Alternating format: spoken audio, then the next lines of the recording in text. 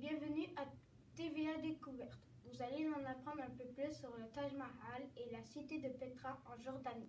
Maintenant, vous allez acquérir Lucas en Inde. Bonjour et bienvenue au Taj Mahal.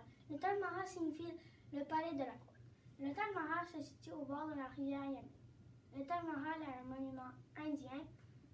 Un monument indien. Sa construction a commencé en 1131 et est terminée en 1148.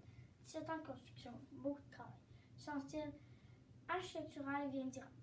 Il fait très beau aujourd'hui. Euh, si vous pouvez venir, venez. Merci. Merci Lucas. Maintenant, vous allez accueillir Louis en Jordanie. Merci Justin. Maintenant, je suis à côté de la cité de Petra en Jordanie.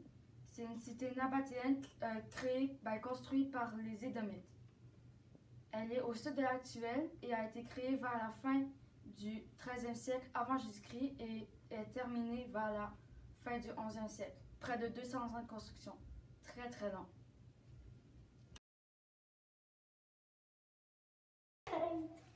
Go. Bonjour. Bonjour et bienvenue à TVA Découverte.